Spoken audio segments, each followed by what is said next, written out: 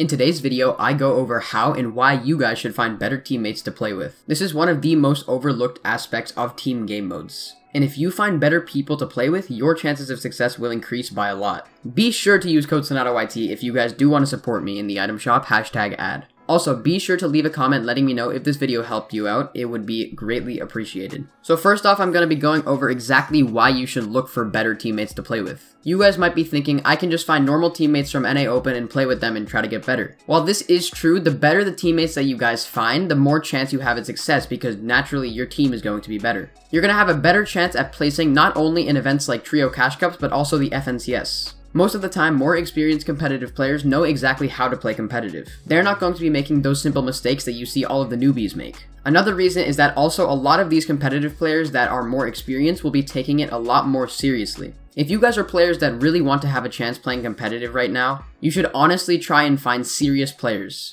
If you have people that need to leave in the middle of a tournament to go play soccer practice, those are not going to be good teammates that you want to stay with. You need to ensure that the people that you're playing with have the priority of playing competitive Fortnite. And most of the time, these people that you will want to try and play with are going to need to have good solo placements. So getting into the next section here, it is important for people to confirm that you are good at the actual game. If you are good at solos, people can actually confirm that you know how to play the game properly. That's why most of the time, some of the best players in the world are solo players. Players such as Mr. Savage, Bugha, Benjyfishy, all of these top tier pro players are all extremely good at solos and got their start in those game modes. Mr. Savage wasn't a duo champion before he placed first in the Winter Royale qualifiers back in 2018. All of these players have really good solo placements with which they can prove that they know how to actually play the game. The second really good reason to make sure that you have good solo placements is because it gives you a lot of PR compared to other game modes. In other game modes that you play, your PR is going to be split across the board between your teammates. And that's going to basically numb the amount of PR that you get, and it's also easier for decay of PR. Right now in Fortnite, PR is the only way that we have to tell how good a player is on the overall competitive leaderboard. And then the last and final reason you guys should be trying to get as many solo placements as you possibly can is because it's easy to get good practice with them. They'll help you get used to the competitive lag, they'll help you get used to the meta properly, and you will just naturally become a better player. So if you guys aren't already playing solos, I don't care how annoying it may be, you guys should really try to play solos if you guys want to succeed in competitive. I know it may sound harsh, but I'm just trying to be real with you guys. You need to play solos if you want to find good teammates. So the next way to find really good players to play with is to get into better scrim discords. These scrim discords will consist of better players such as semi-professional players with a certain amount of earnings in PR. All of these better players are going to be way better to teammate with simply because they'll have more competitive experience that you can use to your advantage. Another thing with better scrim discords is that they're really good for practice. As you're getting into these scrim discords, you can meet various players along the way and you can easily form bonds. The more players that you meet, the higher your chance of success.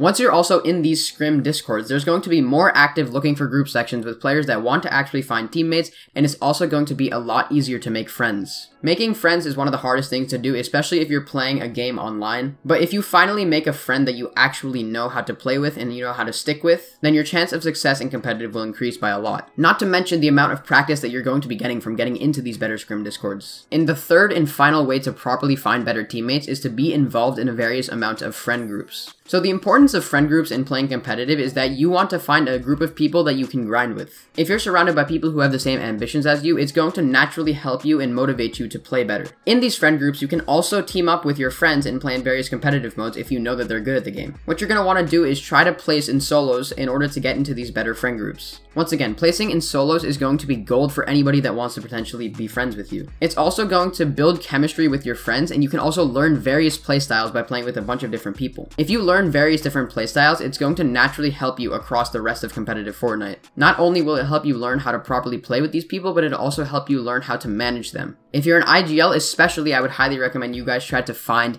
a friend group because it's going to help you learn how to properly play with different people. One of the hardest things I've seen in competitive is that teammates will have chemistry issues and they will blame stuff on the other teammates. This is easily fixable by finding a group of friends that you can easily squash any beef with. Alright guys, that is the video on how and why to find better teammates in Chapter 2 Season 6. I know it was a short one, but if you guys did enjoy the video, please consider dropping a like and subscribing to the channel. Be sure to check out all of my socials that can be found in the description. But that's about it for this video guys. Be sure to like and subscribe to the channel, and I will see you all in the next video. Bye guys.